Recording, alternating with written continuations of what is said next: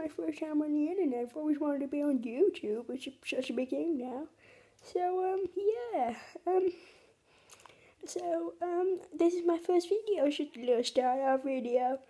And, um, yeah, so I'm gonna be finally part of Andy Harry. So, um, leave me some comments on what to do and how to behave on the internet. So, I can do some stuff. So, yeah. Bye. Yay!